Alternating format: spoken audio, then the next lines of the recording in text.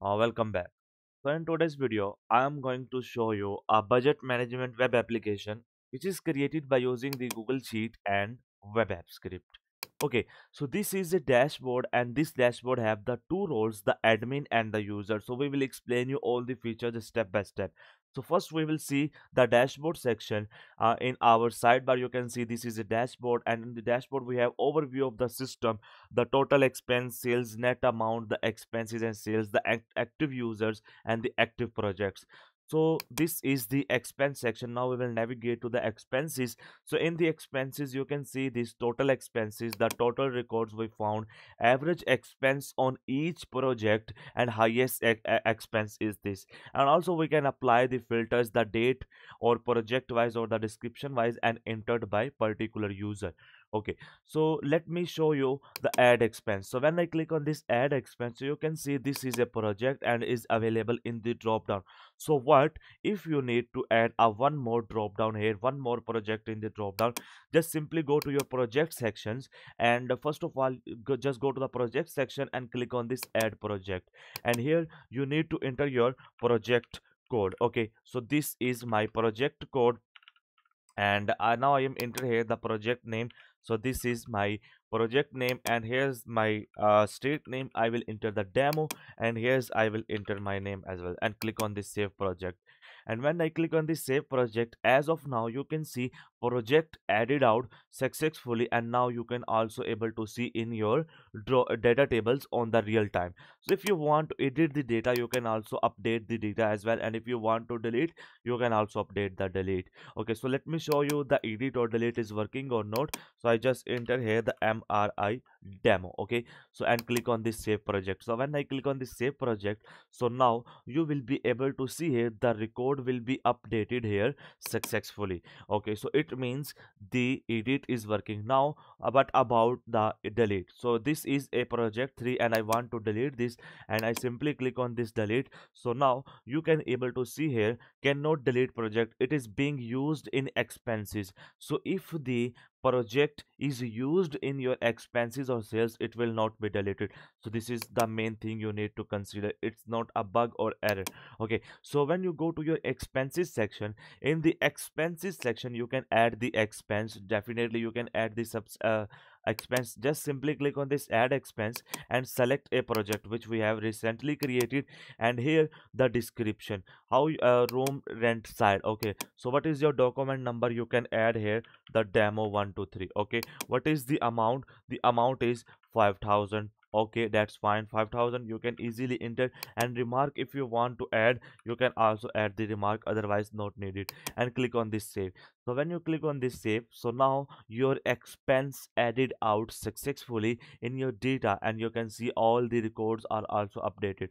So same in the sales section. When you go in the sales section so you can see this is a sales section the total receivable the total invoices and the total gst and the total deductions. And when you click on this add sale you just simply select a project. This project the so number and the invoice number the amount is 5000 uh, you can add here the 5000 how much you want to add. The deduction is the 670 and the remark you can add anyone and click on this save so when you click on this save your sale will be recorded out successfully. So you can see this is your sale and if you want to edit or delete you can also do that. And if you want to refresh the data if the data is not updated automatically you can do it refresh manually. Okay so now you understand the dashboard the expenses the sales and the projects. Now come to the quarterly reports.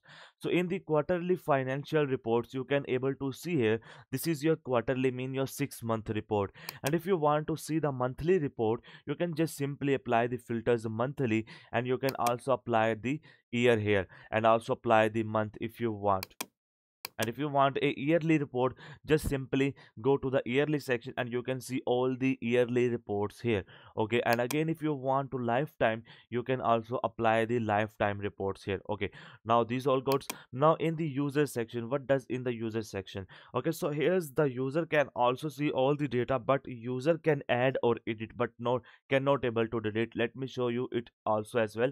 So this is my user username and password. I just copy this and uh, before that i want to show you the log section. So in our logs section you can see all the activities performed on your portal on your system. Like you can see this is a user add sale this is a user add expense and this is a user update the project and this is a user add project as well. So in the my account section as well you can also update the new username or new password. So let me log out this and uh, just log in as a user from here. I just enter my user email and user password here and click on this login. So when i click on this login as of now you can able to see here this is a dashboard which we able to show our user. This will be the same nothing uh, happens just the difference between the admin and user. Admin can add projects or users. Uh, in the user side you can add expense or edit expense okay?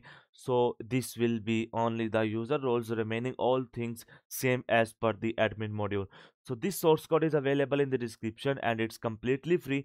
You can go and check out them and how you can set up it on your end. When you receive the uh, link this link, google sheet link in the description you will see this kind of interference in front of you.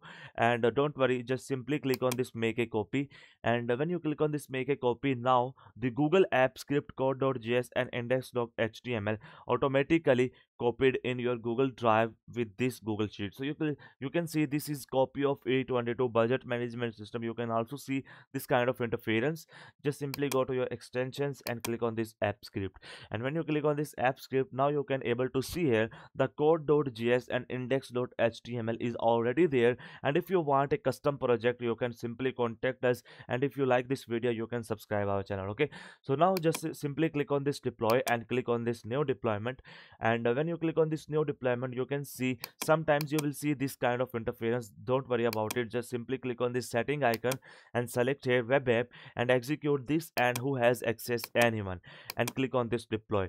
So when you click on this deploy so you can see it's updating the deployment and it will require some uh, authentications from your side so you need to authenticate access uh, for running this web application. So you just simply authorize access and select your email.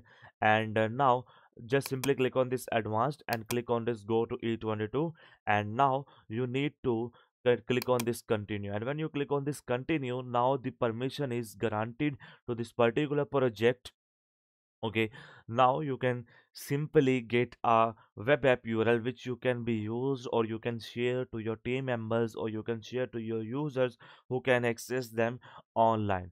Okay so this is a user uh, link and uh, you can simply copy and open in your new tab so you can see the free budget web application is in front of you. Okay so one more thing is that the most popular question you will ask me later how you can change this this currency setting. So just copy this currency setting go to your index.html and uh, simply click Control plus f and enter this uh, here. And uh, just below and you can replace them with your dollar signs. So what is your dollar sign? This is your dollar sign and click on this replace all. So now all the places is updated to the dollar sign. We just simply click on this save and uh, just go to the deploy and click on this manage deployment. And when you click on this manage deployment make it a new version and click on this deploy.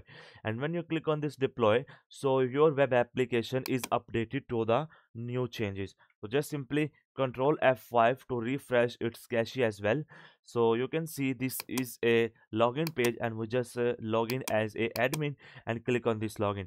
When i click on this login as of now you can able to see here my all the currency setting will be updated to the dollars. So this is a method you can change. Hope you like this video. You can share it with your friends who is interested in the coding tutorials.